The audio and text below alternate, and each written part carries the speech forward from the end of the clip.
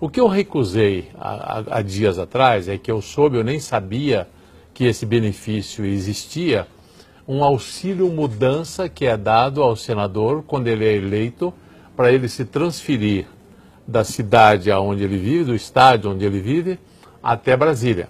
Eu considerei esse auxílio de 32 mil reais, que seria depositado na minha conta, algo que eu não preciso.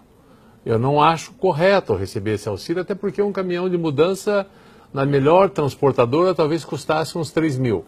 E quando me disseram que eu poderia fazer com esse dinheiro o que eu bem entendesse e não precisaria prestar contas, eu disse mais ainda que eu não quero isso, não é?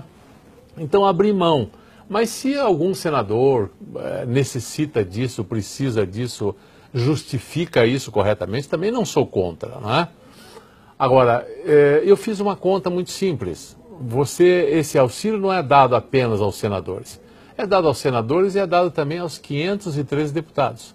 Então, se você somar 513 deputados mais os senadores, né, que seriam só 54, porque não foram todos reeleitos agora, se você considerar que os senadores recebem isso, e os deputados também, repito, não são só os senadores, os deputados também. Se eu for criar caso, eu vou criar caso com todos os deputados e com os senadores, vai ser um caso maior, não é?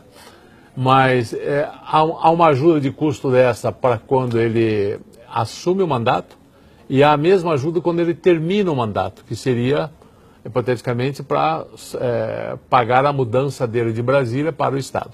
E no caso dos senadores que são reeleitos, e aí isso me deixou ainda mais preocupado, é, se já era, se eu já fosse senador, digamos, e tivesse sido reeleito agora, o que não aconteceu, é a primeira vez que eu sou eleito, eu receberia um salário de 32 mil porque terminou o meu mandato e outro salário de 32 mil porque vai começar um novo mandato. Então eu receberia 64.